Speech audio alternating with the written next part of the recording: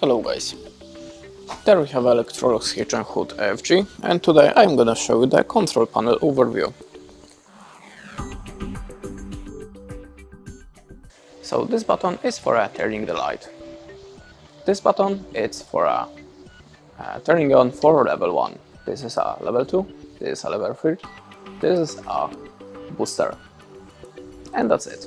Thanks for watching, leave us a like or a comment and goodbye.